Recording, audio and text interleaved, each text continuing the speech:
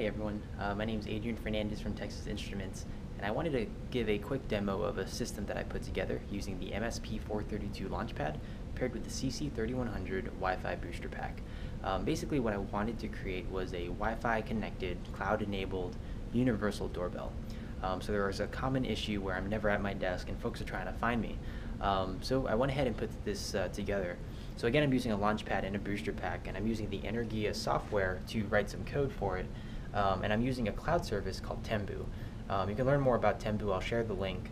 Um, but basically, it's a cloud service that can generate Energia code that you can compile and flash to your Launchpad to enable your hardware to interact with hundreds of different web services. Uh, in this case, my Launchpad is going to interact with a web service called Nexmo. Um, Nexmo provides a set of APIs to be able to trigger voice calls um, to a cell phone. So in this case, with this universal doorbell, um, you can flip it on. I'll go ahead and do that. And the first thing the system will do is try to connect to Wi-Fi. So I've got a hotspot inside of my office. Um, once it connects to the Wi-Fi hotspot, you'll see a question mark appear here on the 8x8 LED matrix. So let's give it a second. There you go. So we've got the question mark basically saying you're connected to Wi-Fi. Um, at this point, you can go ahead and push this button, which is effectively the doorbell. So let me pull my phone out so that once I push that button, you'll see that my phone will start ringing with the help of the uh, cloud connectivity. So let's go ahead and push that button. Um, and basically, my phone should ring now here any second. So let's give it a second here. There we go. So phone is now ringing. So I'll pick it up and I'll put it on speakerphone.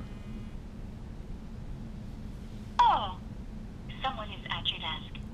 Will you be back soon? Press 1 for yes, 0 for no. So I'll be back soon, so I'm going to go ahead and push 1 on the, on the keypad here. Hello? Thank you. Adrian. Goodbye. So that response is going to be sent back to the system, uh, which causes the happy face to appear. If I were to push um, the zero button on the keypad, you know, let's say I'm in a meeting and I won't be back to my desk soon, uh, a sad face would appear here instead. So that happy face will stay there for a couple of seconds.